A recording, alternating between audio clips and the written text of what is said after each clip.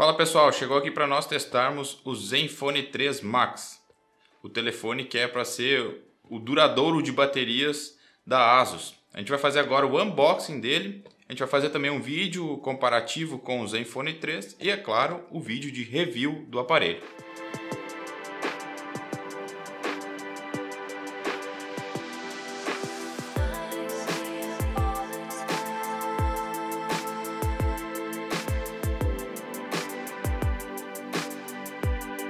Então vamos abrir a caixa do Zenfone 3 Max. Só para constar, ela é diferente da caixa do Zenfone 3 e do Zenfone 3 Deluxe. Ela é muito mais parecida com o Zenfone 2 a caixa. Já de cara você, você pega o aparelho, ele tem ele vem envolto num plástico para obviamente não arranhar e já deixar ele todo limpinho como ele vem. Então está aqui o aparelho, ele tem uma traseira revestida em metal, diferente do Zenfone 3, que ela é de vidro. Essa aqui é de metal. Tem aqui o sensor de impressão digital. Tem a câmera, o flash e o sensor infravermelho para fazer o laser da focagem. Na frente a gente tem a câmera frontal. Temos aqui o alto-falante também, os botões da ASUS que são fora do visor na face de baixo a gente tem a entrada USB, o, alto-falante e o microfone. Na parte de cima a gente tem o plug P3 para fone de ouvido e alto-falante.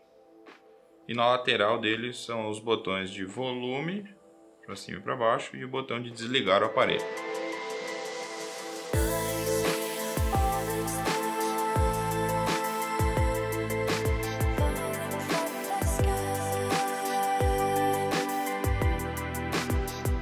Abrir a caixa então dele. Vem com os manuais de instruções de instalação do, do SIM. Algumas etiquetas com os números de série. Aqui ele vem um adaptador USB, que até então não sei para que serve, a gente vai testar no review. O cabo USB, o carregador, um fone de ouvido branco. Ele é muito bom esse fone de ouvido da Asus.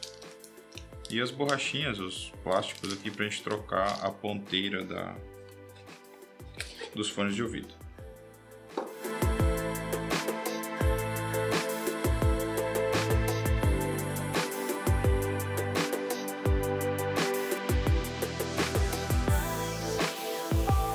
Pude testar o aparelho por cerca de meio dia já para mim poder ter as primeiras impressões dele. O que eu posso dizer comparado com o Zenfone 3 é que ele tem um hardware pior, obviamente, e também o desempenho dele não é tão bom quanto o do Zenfone 3. E também a câmera dele deixa a desejar comparado com o outro aparelho. Já em termos de bateria, esse aqui tem 4100 mAh, então em teoria ele deve durar 36% a mais durante o dia. Isso dá em torno de 8 horas a mais de bateria para você poder utilizar.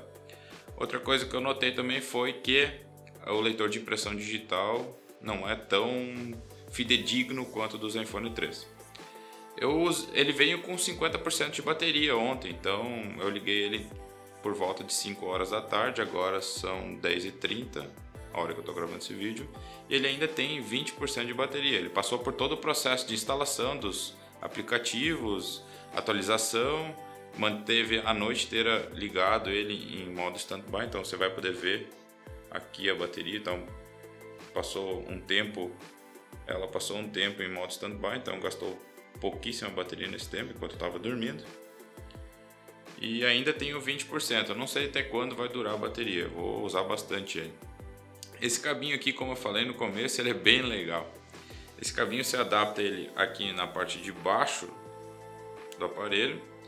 Você pode conectar outro, outro celular aqui e carregar ele, carregar o outro celular. A famosa chupeta chama-se isso aí no, nos carros, né? E aqui você pode fazer isso no seu telefone também. Você pega um amigo que não tem tanta bateria, esse aqui tem 4100, você pode carregar outra, outros aparelhos aí celulares, tá bom? Essas foram as primeiras impressões dele.